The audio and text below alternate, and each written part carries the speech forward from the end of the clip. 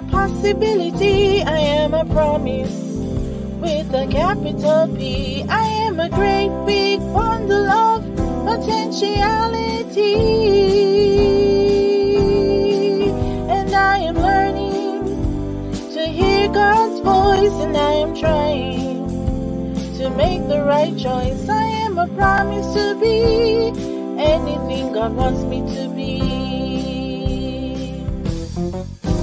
I can go anywhere that He wants me to go. I can be anything that He wants me to be. I can climb the high mountains. I can cross the wide sea. I am a great big promise, you see. I am a promise. I am a possibility. I am a promise with a capital P. I am a great big bundle of potentiality. God's voice, and I am trying to make the right choice. I am a promise to be anything God wants me to be. I am a promise to be anything God wants me to be.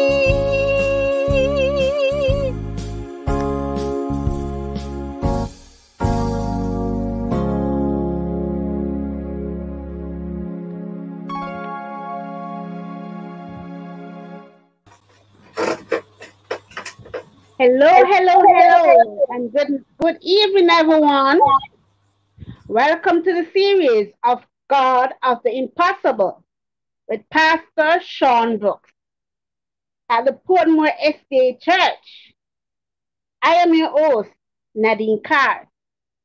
And for this evening, our program will be Praise and Worship by Lennox and Roberts. Opening prayer, Kadeem Reese. And special feature, Pastor Cornell Morgan. Meditation song, Clarice Lewis. And closing remark and sermon, sorry, by our one and only Pastor Shaun Brooks. Bye, everyone. Later.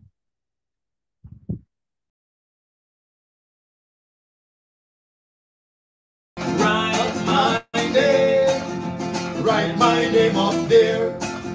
Write my name, write my name up there. Touch my finger on the golden pen, the golden pen, the golden pen. Touch my finger on the golden pen, write my name up there. Write my name, write my name up there. Write my name, write my name up. Touch my finger on the golden pen, golden pen, golden, golden pen. Touch my finger on the golden pen, write my name up there. Write my name, write my name up there. Write my name, write my name, write my name up there. Touch my finger on the golden pen, golden pen, golden pen. Touch my finger on the golden pen, write my name up there. Write my name, you better write my name up there. Write my name, write my name up there. The Holy Ghost power is moving just like a magnet. The Holy Ghost power is moving just like a magnet. Moving there, moving there, just like the day of Pentecost. The Holy Ghost power moving just like a magnet. Ooh, the Holy Ghost power is moving just like a magnet. Moving, moving. The Holy Ghost power is moving just like a magnet. Moving, moving. Moving there, moving there, just like the day of Pentecost. Holy Ghost power moving just like a magnet. Welcome all. Welcome, welcome, welcome. Blessed Holy Ghost, we welcome you. Come with power and fill our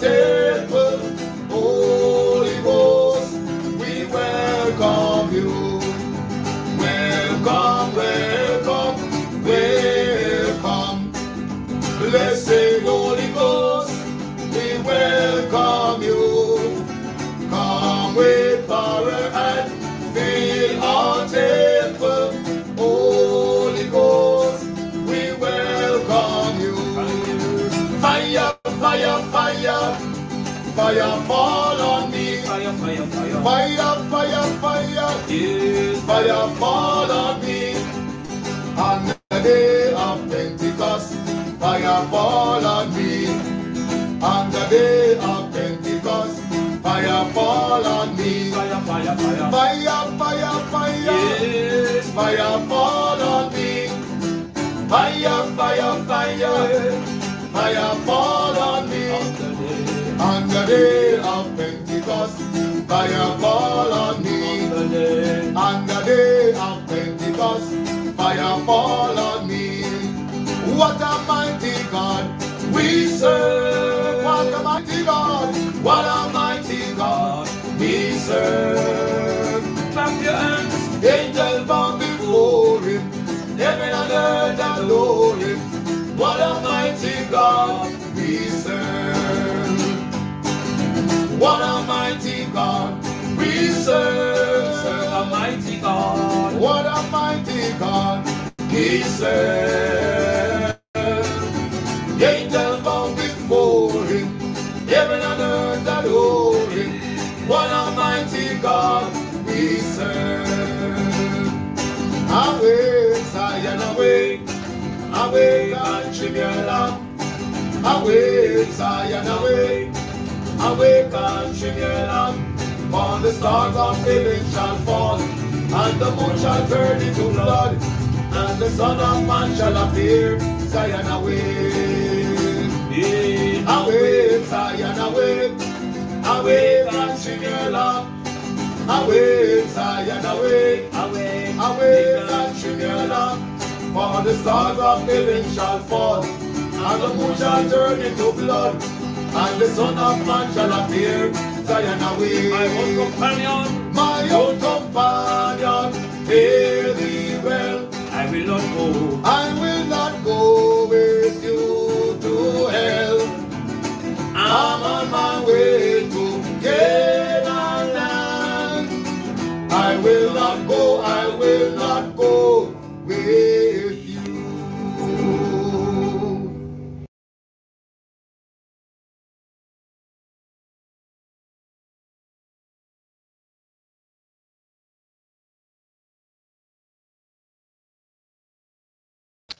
Let us pray. Dear Heavenly Father, we want to thank you for today. Lord, we thank you for the beautiful sunshine, and we thank you for waking us up this morning.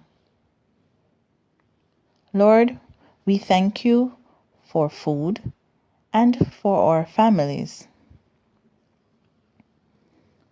Please help those who are poor and those who have no families. Protect them, Lord, and lead them, guide them, so that they will learn more about you. Lord, please give us the strength that we need in our lives so that we will be able to help others, especially those who are experiencing a rough time right now. Thank you for your many blessings. In Jesus' name I pray. Amen.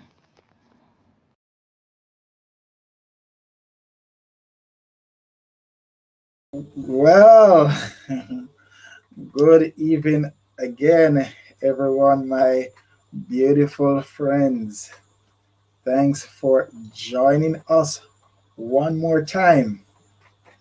We are happy to know you join us and we we celebrate because our God is a good God amazing and wonderful. But he just keep blowing our mind with the many blessings he give us. And tonight, He has more blessing for all of you. I am going to share the blessing with you, but you have to answer my question tonight. Now, last night, uh, nobody get my answer to the question I asked. But no problem, no problem, because you have time to answer. So, if you can answer last night question, you'll still get your gift. But you have to watch last night's message and you will hear the question from last night. Me not telling you what the question was um, last night. But tonight, I have another question for you. Are you ready? Okay. I think you are ready for me. Here goes.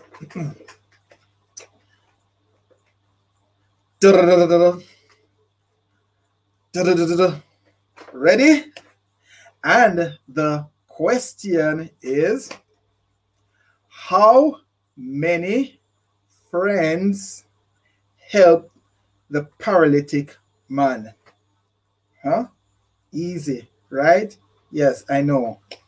How many friends help the paralytic man? Next question for you.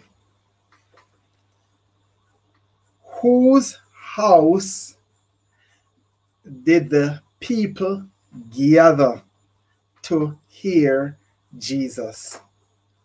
Whose house the people gather to hear Jesus?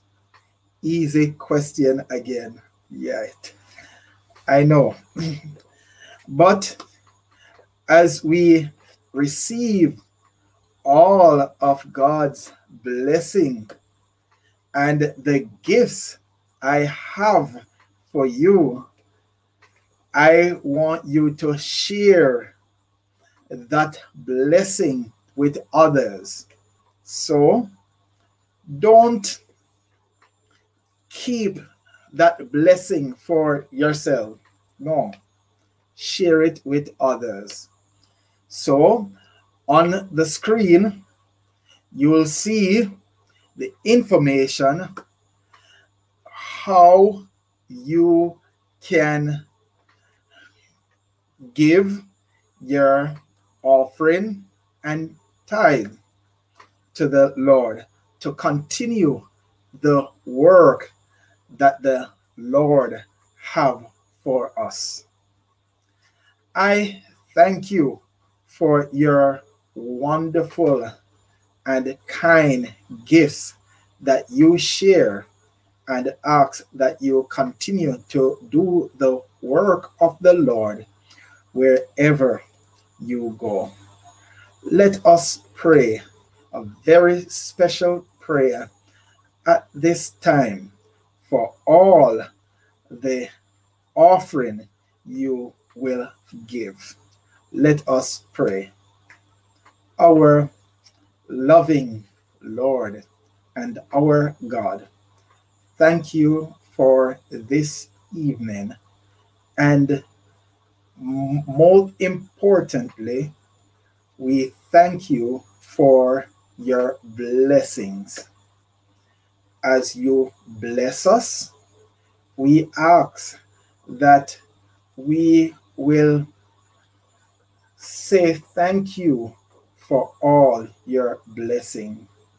Tonight, some of our members and visitors are saying thank you to you for your blessings.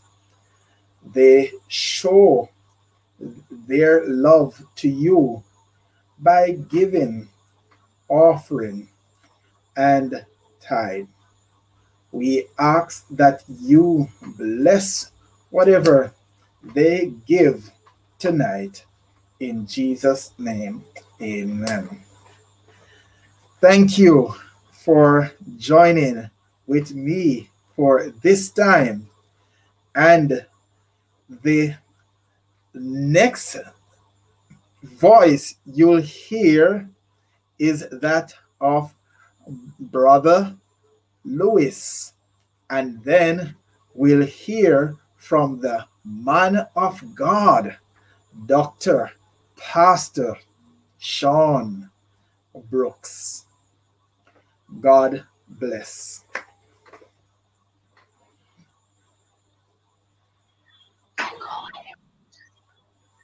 Good night, brothers and sisters. This is Brother Lewis. I'm going to sing you a meditation song.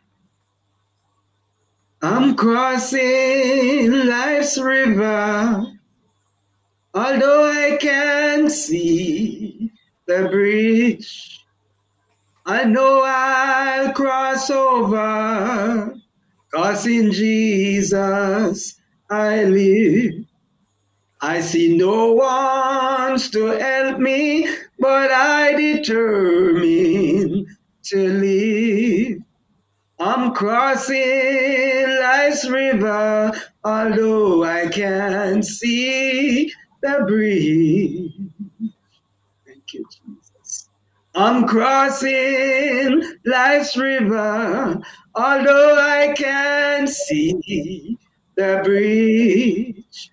I know I'll cross over, cause in Jesus I live. I see no one to help me, but I determine to live. I'm crossing life's river, and Jesus Christ is the bridge. Sometimes in your crossing, you slip along the way, and you thought for a while of giving up. But there's hope in King Jesus, who is the master of us all. He'll guide you through although I can't see the bridge. Thank you, Lord.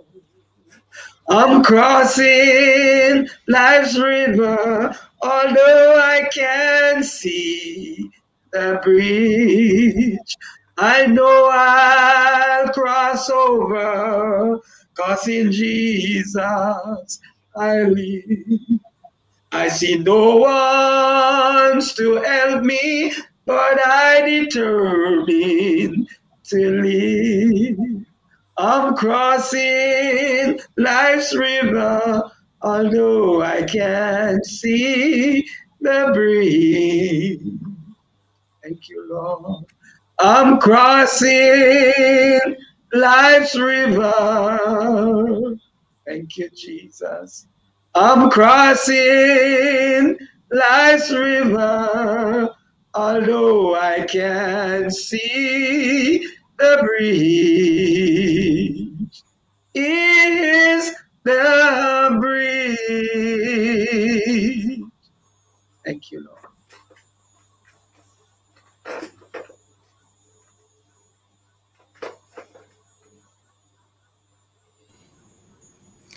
To God be the glory.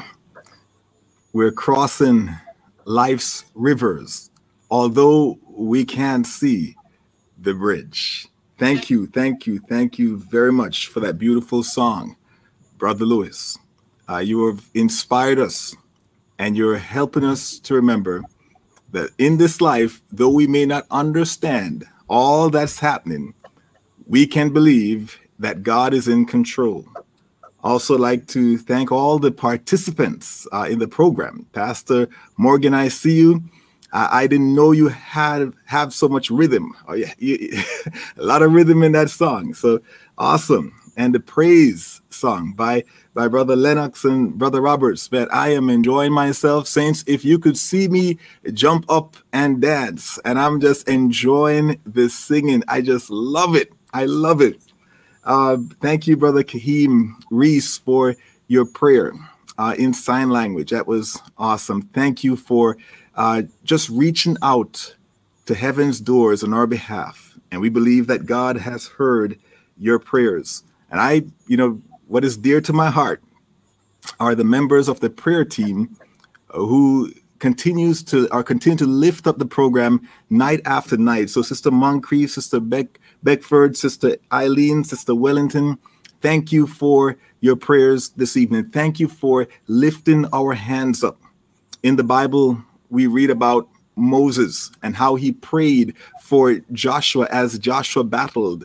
Uh, you see, Joshua may have thought the battle was up to him, but little did he know that really the battle was up on the mountaintop because Moses and Aaron were interceding on their behalf. Saints, more prayer equals more power and we cannot do this in and of our own might.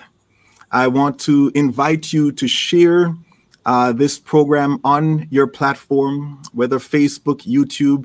Just share to your friends, share to your family, because I believe something that is said this evening may be a blessing to them and may lead that family member, that friend closer to Jesus Christ. We're going to continue our nightly service up until Thursday. Then on Friday, we take a break and we come back on Sabbath. And guess what? There's something powerful and wonderful that's going to happen on Sabbath. We're going to have a grand baptism, and there are already individuals who have confirmed for the baptism.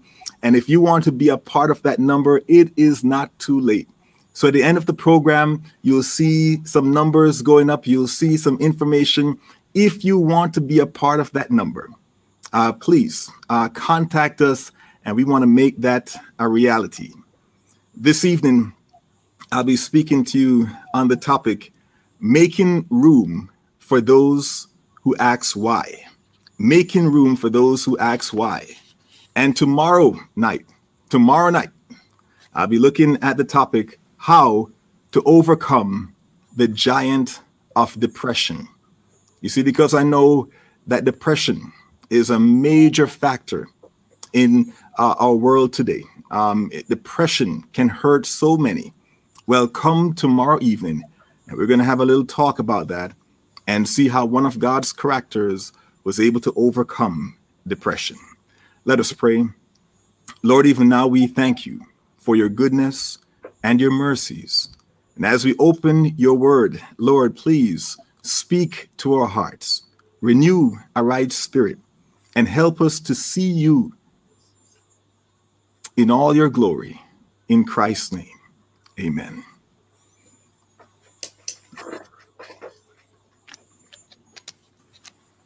I know I'm going to work you tonight, Pastor Morgan. well, as you see and hear in the messages that have been presented night after night, it is important to make room for those with disabilities. We've seen that from the worship content or the, the, the liturgy to the building space, the physical uh, worship building. Listen, there are improvements to be made and improvements that must be made by God's grace in order to make room for those with various disabilities. Yet, one of the greatest ways that we can make room for those who are differently able, disabled, or we can say, or have special needs, is to allow our place of worship to be a safe space. Hear me out. A safe space for the emotional expressions of the heart. I repeat, allowing our space to be a safe place, or worship here to be a safe space for the emotional expressions of the heart. And this is probably the most difficult area for the church to deal with. But there are individuals who will come to the church with some burning and pressing questions. Why? Why uh, is it that I'm going through this situation? They may scream at God with the burning question, Why? Why, Lord, do I have a disability? Why was my relative the one to get a stroke at this time in their life? Why am I confined to my wheelchair? Why am I the one bullied for something that I cannot change? Why am I overlooked at school, at church, and at the workplace? Why, God? I have some burning questions. Why?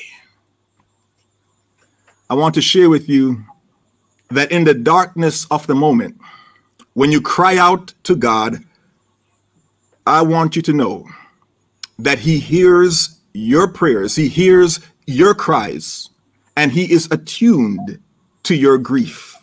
Now, if you can turn quickly to the book of Job, the book of Job, prior to just uh, before the book of Psalms, but if you can turn to Job chapter 1, we want to look at an individual who had some questions and some valid questions at that.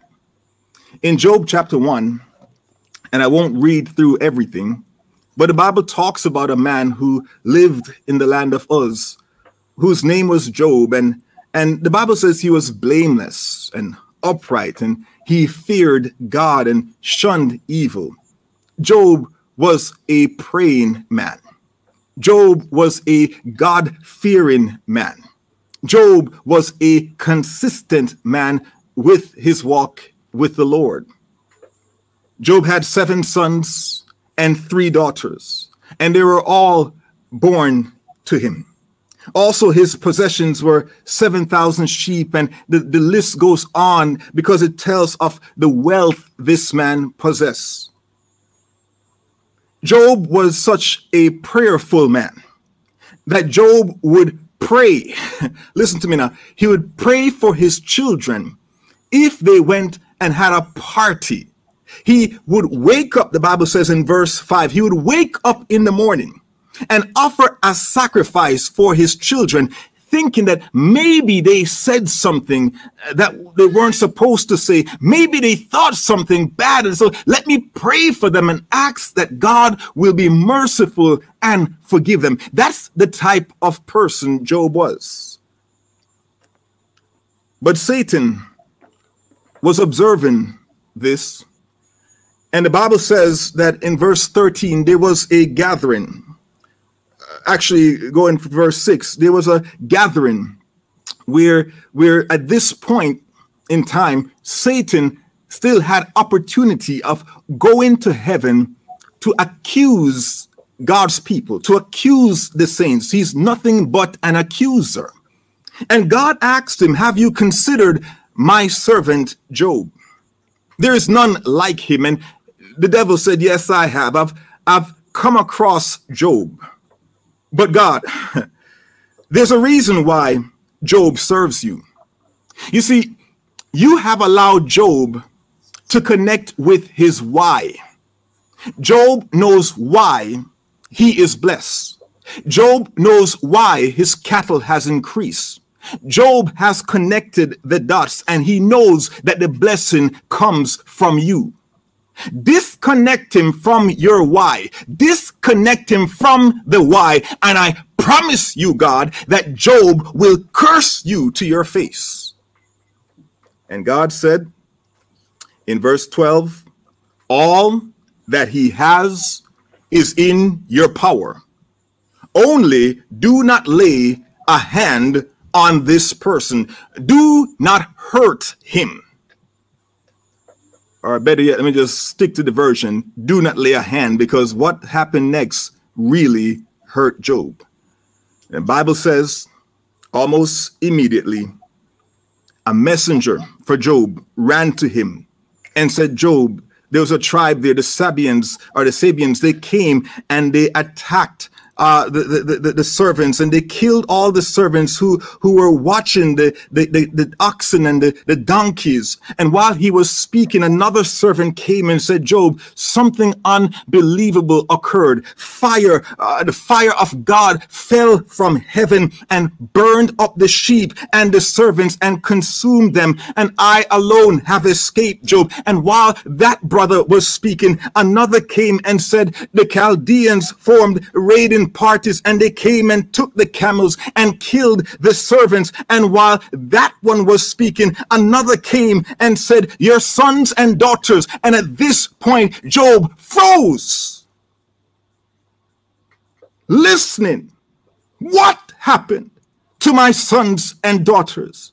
Job, there was a, a great wind came and the wind came and blew the structure, the corners of the house down. It fell on them, Job, and they are all dead. Your sons and daughters are dead, Job. And I alone have escaped to tell you. At this point in time, Satan came close to Job in the background looking at Job because now he was saying, I got you now, Job. I have you now. Now you're weak in the knees. There's no reason now for you to praise God and to worship him. And he observed everything that Job was doing now. But the Bible says that Job fell to the ground after he had shaved his head. And Job did something that blew the devil away. The Bible says that Job worshiped he worshiped God. That is now a sacrifice of praise. He was worshiping God in spite of his feelings. And he said, Naked I came from my mother's womb. Naked shall I return there. The Lord gave, and the Lord has taken away. Blessed be the name of the Lord. And in all this, the Bible says Job did not sin nor charge God with wrong. Satan looked at all this, observed Job, and wanted to hit himself. He wanted to smack himself because he realized that though his children were dead and his investments were gone, those were external things, those were external connections. He should have struck him internally. And then Job would have cursed God. So the Bible tells us in chapter 2 and verse 4 that Satan answered the Lord and said, Skin for skin Yes, all that a man has, he will give for his life. So he was begging God again, please give me a second chance with Job, and I will prove to you that this man will curse you. He went on, stretch out your hand now, touch his bone and his flesh, and he will surely curse you to your face.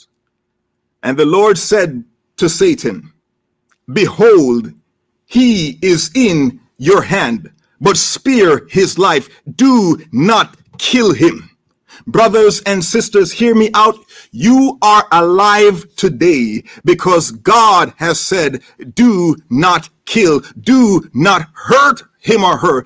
Do not hurt them. That's the only reason why you're alive today. When it is time for you to go to rest, it will happen. But if God does not give permission, it will not happen. God said, Spear his life. In a moment, in a moment, Job was beset by a dreadful disease, the likes of which we can only imagine, but maybe, maybe can be compared to, to leprosy or, or cancer in overdrive. His face became unrecognizable. His feet were rendered useless because he could not walk for the boils on his feet. There was no position that he could find to gain relief from the boils. It mattered not where he sat or spun. He could not find any relief. He no longer could attend the place of worship. He no longer could go to work. Job was now severely disabled. His wife could not believe amidst everything that her dear husband had to suffer so hard. She looked at him and out of pity and a sense of devastating and heartbreaking loss, she said to him, curse God, Job, and just die already.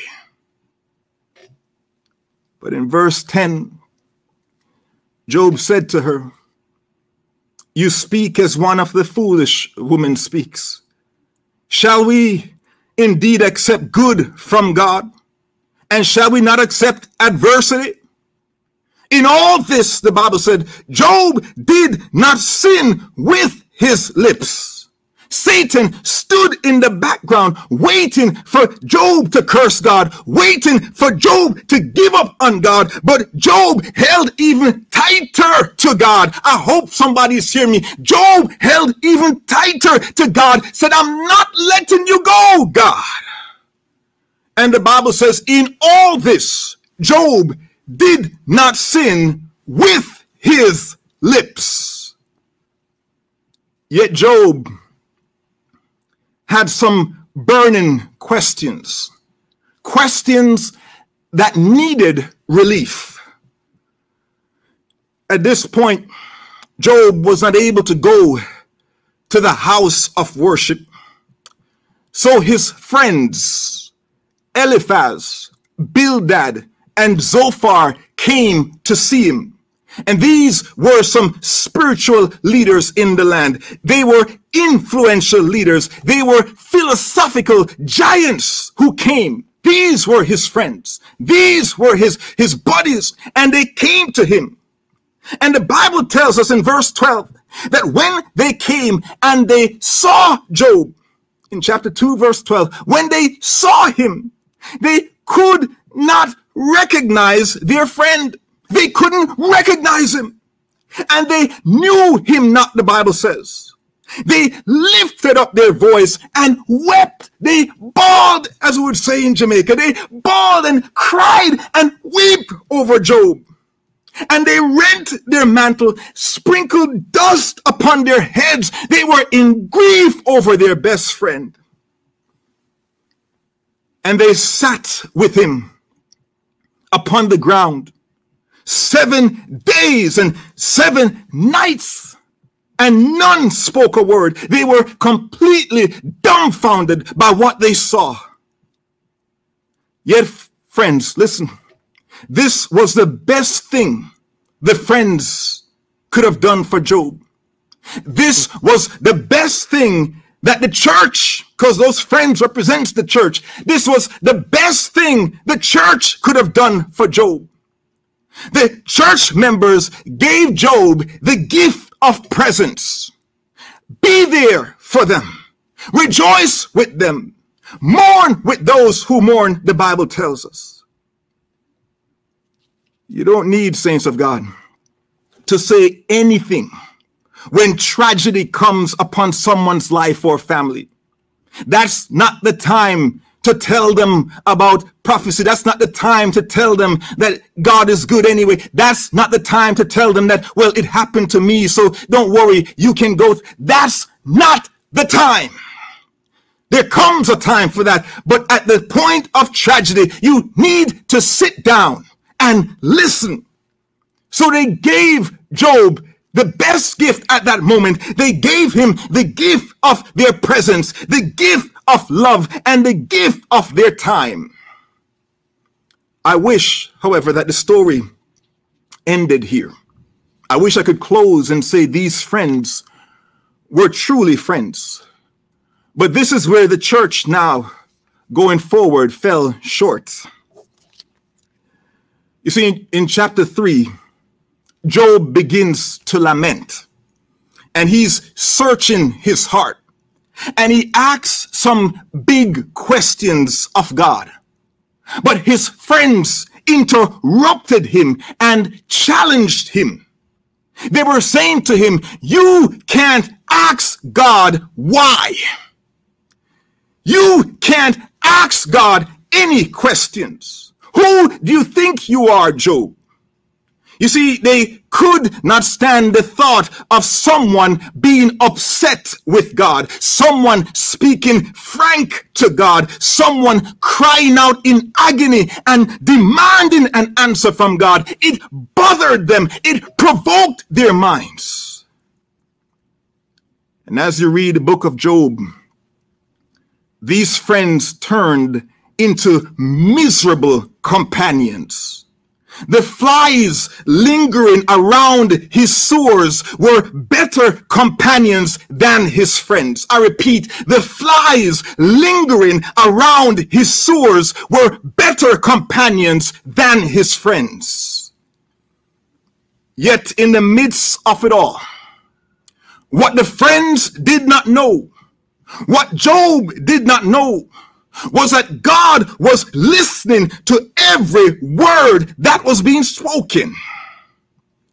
Now imagine with me the unseen guest in that room listening to Job and hear what Job declares amidst his pain. Job does not know God is watching him so close and personal in the moment. But in spite of the pain he was going through, in spite of his challenges, he had this to say. And by the way, saints of God, if you, like Job's friends, like to judge individuals, please hold off the judgment until you're able to walk in their shoes. In Job chapter 19 and verse 14, starting, we get a chance to walk in Job's shoes. And this is what Job says. He says, My relatives have failed, and my close friends have forgotten me. Those who dwell in my house and my maidservants count me as a stranger. I am an alien in their sight. I call my servant, but he gives me no answer. I beg him with my mouth to come. My breath is offensive to my wife, and I am repulsive to the children of my own body. Even Job says, young children, little children despise or hate me. I arise and they speak against me. All, he says, all my close friends abhor me. And those whom I love have turned against me. My bone clings to my skin and to my flesh, and I have escaped by the skin of my teeth. Here is cry. Have pity. Have pity on me. Have pity on me, O you, my friends. For the hand of God has struck me. And here is question. Why? Why? Why do you persecute me as God does and are not satisfied with my flesh? Oh, he says, oh, that my words were written. Oh, that they were inscribed in a book, that they were engraved on a rock with an iron pen and lead forever. But I'm here to interrupt you, Job. Yes, they are. Jesus was listening to every word. It was being taken down. God was making note of it, Job. God heard your prayer in the midst of the agony. God heard it and said, I will make sure it is written. And amidst the pain that Job was going through. He says this, for I know that my Redeemer lives, and he shall stand at last on the earth.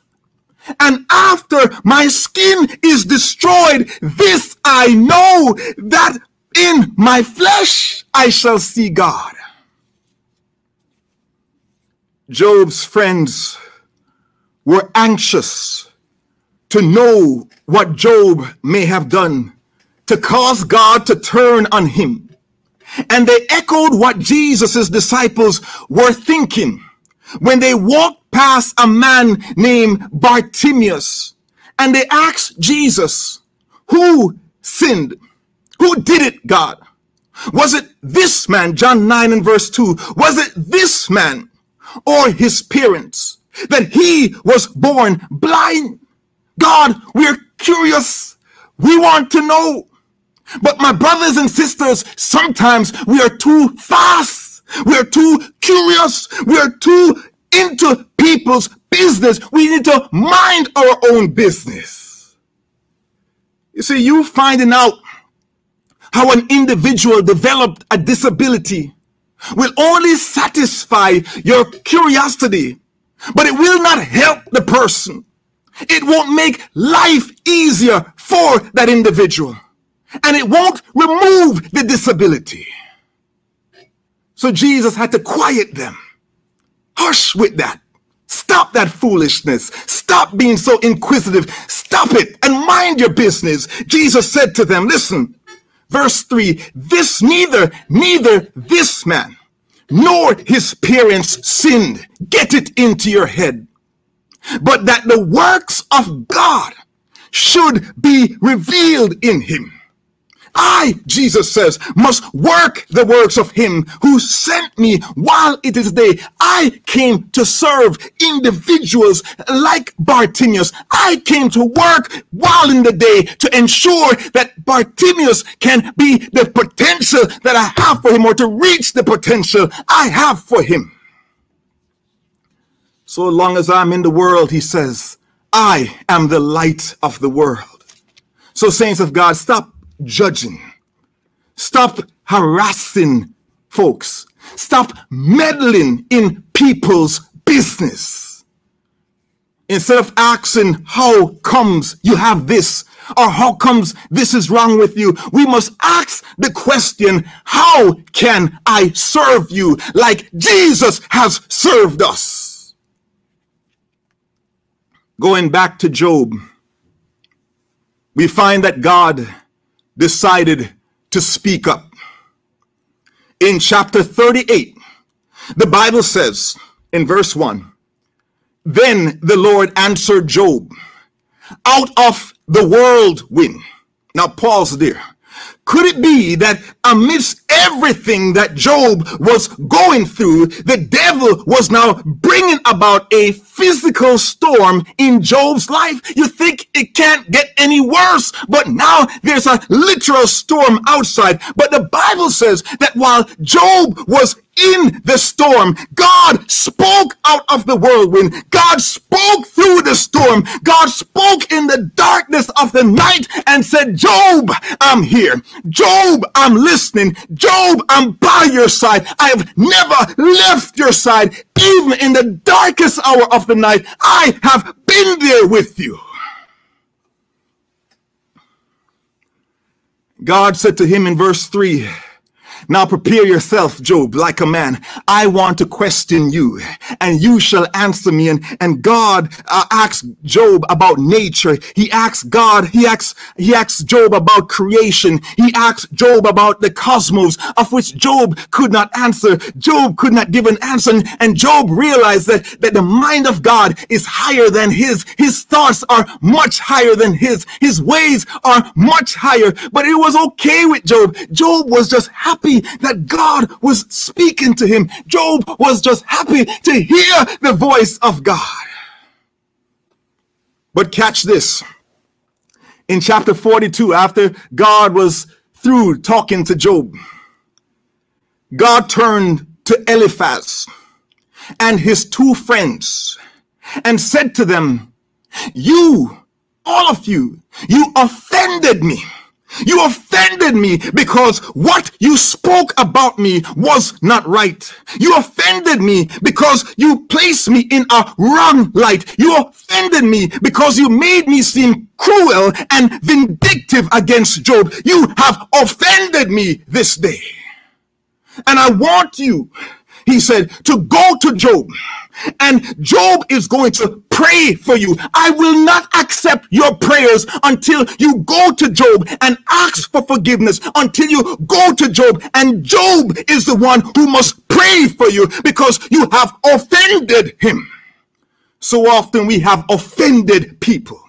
We have stigmatized people. We have them down. We have made sure or ensured that they're not able to come into our worship place, our worship of, and place of fellowship. And God says, You have offended me. You may need to apologize in order for me to hear your prayers. You see, saints, God was not upset with Job for asking him tough questions. Listen now. God was not upset with Job for asking him tough questions. God was upset with his friends for interrupting him.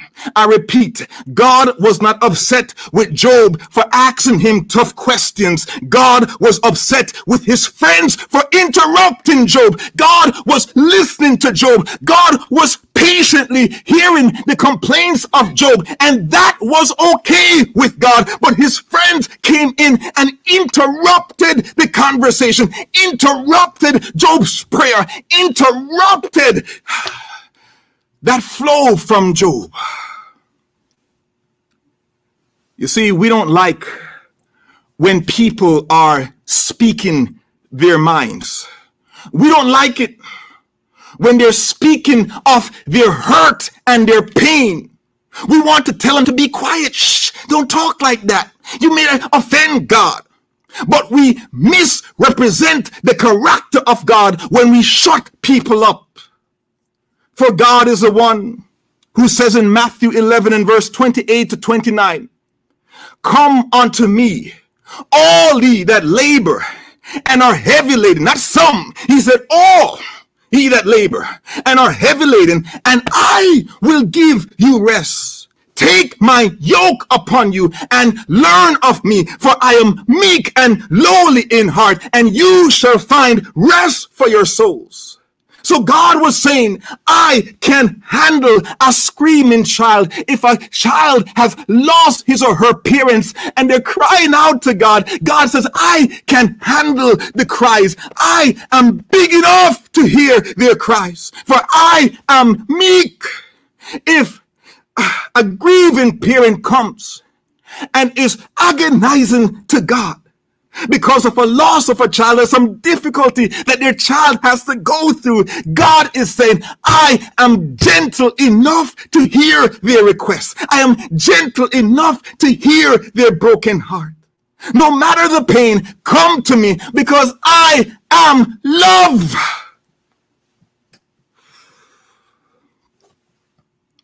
When they come, God says they can share their grief and they can ask their why. And in exchange, I will give them rest, not you. I will give them rest. I can give them peace. I can give them hope. Now, notice when you read the book of Job, you will not find a place in any of those chapters where God tells Job why. Why he allowed Satan to do all of this, why he lost his children, why he lost his, his, his, his family and his investment. God did not share with Job the why. You see, there will come a time for that. A time is coming for that. But in the meantime, God desires us to trust Him that He is at work in our lives and He will work for our best interest. So He says, trust in me with all your heart. Lean not to your own understanding. In all your ways, acknowledge me and I shall direct your path. But I'm getting to the good part now. I'm just about to wrap up, but here's the good part. You see, for Job and every person who asks why, a time is coming, such as is found in 1 Corinthians 15 and 1 Thessalonians chapter 4, that declares that God shall resurrect us in the newness of life a time will come when this mortal shall put on immortality. Now, if you've been to a funeral, and I know you've been to several, guess what? You've always heard those passages and reference to God coming and just transforming us in a moment. Hear me out now. That is an easy thing for God to do. We're talking about the God of the impossible. That's a light thing for God to do. To, to speak a word that the, the, the deaf will be able to hear. The blind can see just by the spoken word of God. God is able to put bones together. He's able to put muscles and sinews together. He's able to put our skin together in a moment. That is easy for God to do. But you see, answering the question why requires time. And this is why, very quickly, when you turn to Revelation 20 and verse 4, the Bible says that we're going to be doing something in heaven. The Bible says, I saw thrones, and they, that's you and me, they sat upon them, and judgment was given unto them and I saw the souls of them that were beheaded for the witness of Jesus and for the word of God, and which had not worshipped the beast, neither his image, neither had received his mark upon their foreheads or in their hands, and they lived and reigned with Christ a thousand years. For a thousand years we will reign with Jesus. We will be judges in heaven. Even according to First Corinthians chapter 6 and verse 3, Paul says, Know you not that you shall judge angels. We shall judge angels. How much more things that pertain to this life. So for a thousand years, the judgment, we will be able to see the books. We will be able to look and see how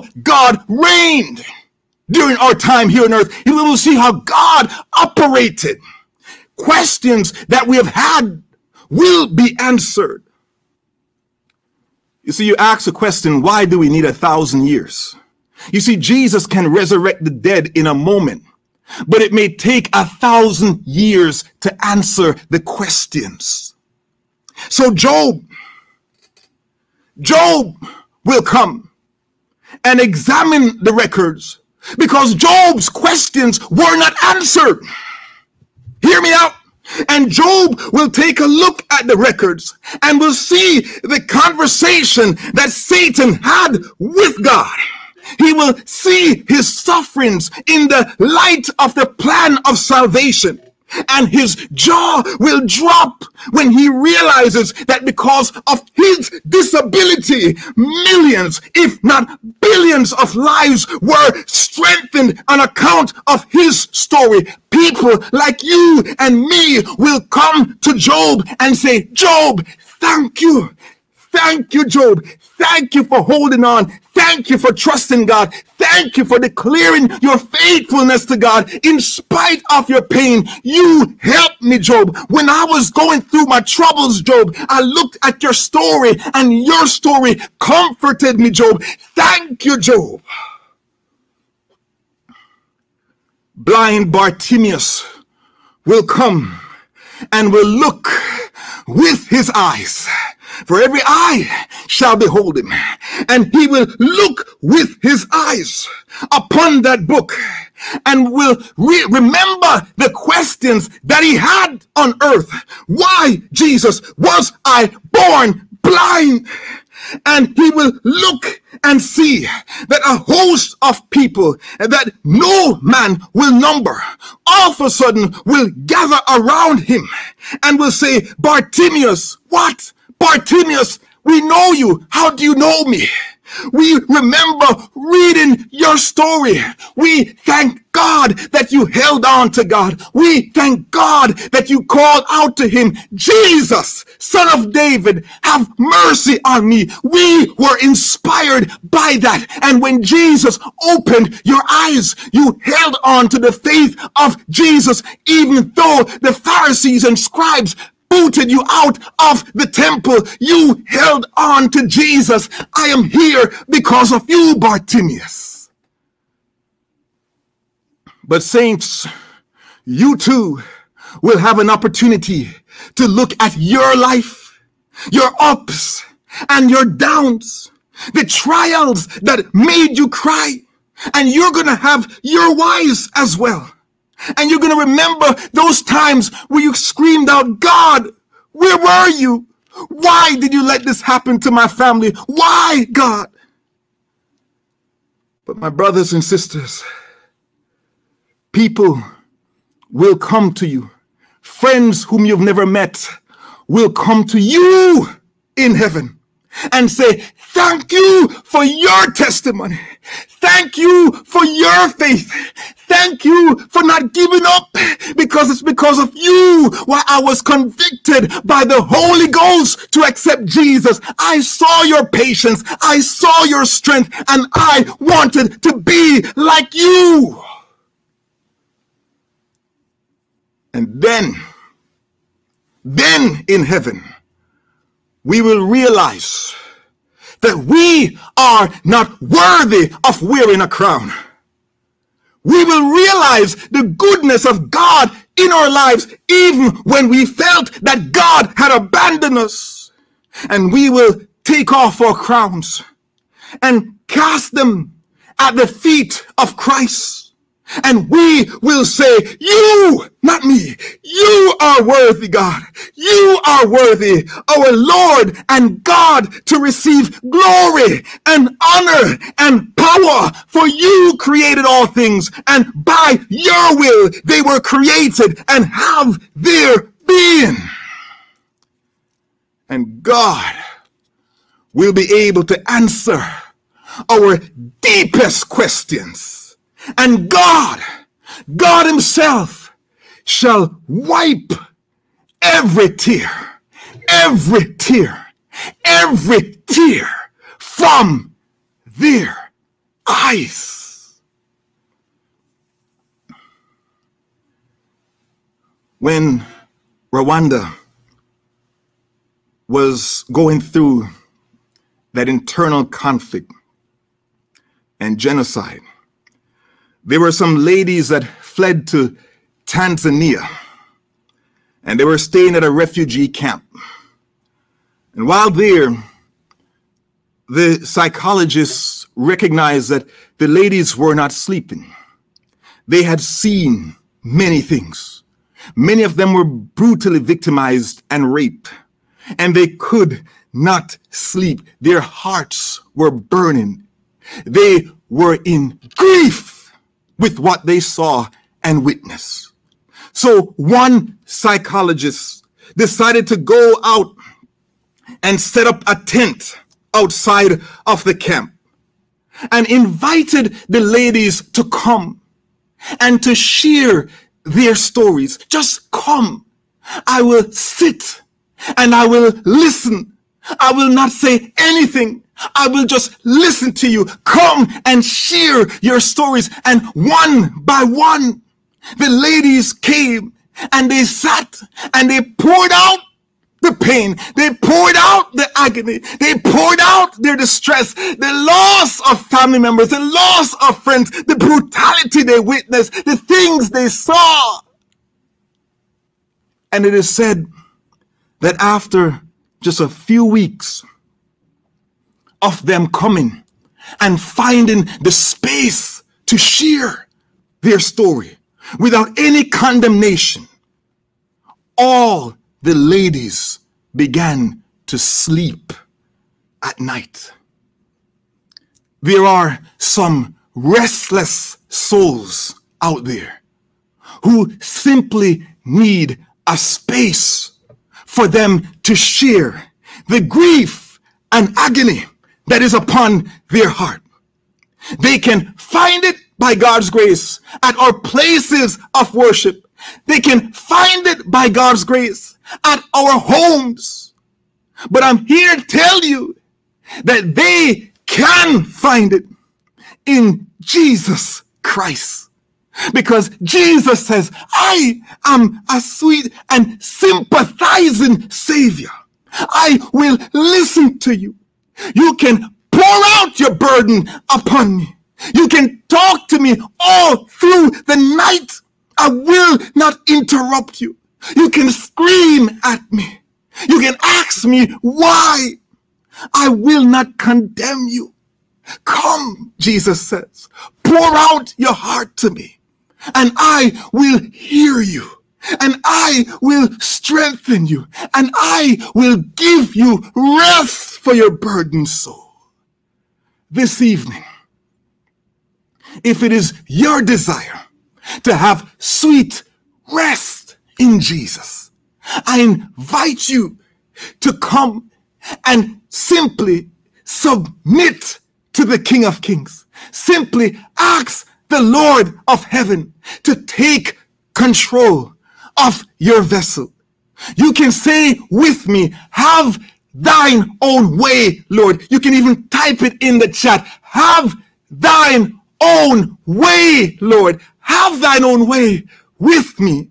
I don't know why these things are happening to me, but I will trust you with all my heart. Like Job, you can say, I know that my Redeemer lives. I don't have all the answers, but one thing I do know, He lives. And if He lives, I can face tomorrow. If you have made that decision to say, Jesus, have thine own way with me, I'm going to pray with you. If you've not yet submitted your life and are preparing yourself for baptism, which is just a public display of what Jesus has already done privately in your heart. If you've not prepared yourself, then the opportunity is there for you to call the numbers or in the chat, just say, please contact me. And we will do our best to contact you. Because once you say that, once you write that, the Holy Ghost will be upon you. The Holy Ghost will be ensuring that somebody contacts you. I'm going to pray for you right now. And I'm going to pray for the heart that is burdened. That God, I see, I see you, Sister Thomas, that God, that God will do something powerful in your life. That tonight, if it's the first night in the week, that you can rest and have a good night's sleep. I'm going to pray that God's will be done for you. Let us pray. Lord, we thank you for your goodness and your mercies. We thank you, Jesus, for your grace.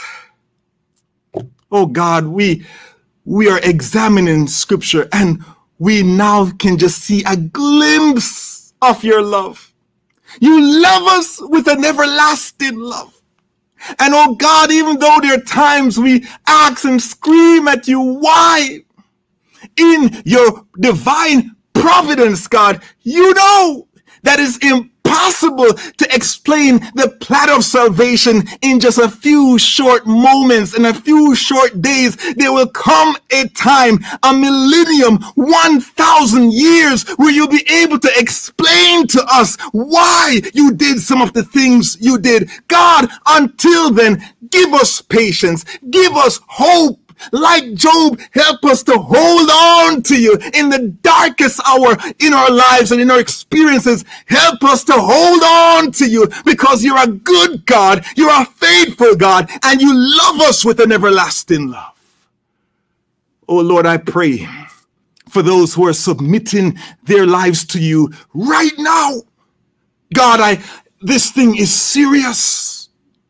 If they're asking that you can have your way in their life, this is being recorded by the angels surrounding them.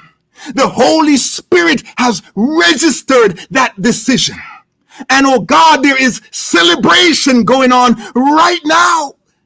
And so, as you've placed this conviction upon their hearts, Lord, place the conviction upon the workers right now to ensure that we make contact with them. Place the conviction upon the pastors around the region to ensure that we work with these souls so that one day soon we can publicly celebrate their decision made in private in a time of baptism so that the world can celebrate as well. So, God, we thank you for hearing and answering our prayers. We thank you for the hope as found in you. And I pray, God, that someone who has been burdened with guilt, somebody who has been traumatized in life, will find sweet peace in your presence. And that tonight, God, they can go to bed knowing that Jesus has forgiven them, knowing that salvation has come to their home, knowing that whatever they've gone through, one day you will wipe away their tears. Give them sweet rest this evening. We pray in the mighty name of Jesus. Amen and amen. Saints of God, I hope to see you tomorrow evening. Please share this with someone else. And tomorrow we'll come back and look at the topic how to overcome depression. May God bless you and keep you always. Amen, amen, amen. I cannot stop saying that word. That word is very, very powerful. And thank you, Pastor. Thank you so much for giving us that these words of encouragement. For me personally, I am happy. I am good. So, brothers and sisters, join us tomorrow for another word from Pastor Brooks. See you. Good night. Bye.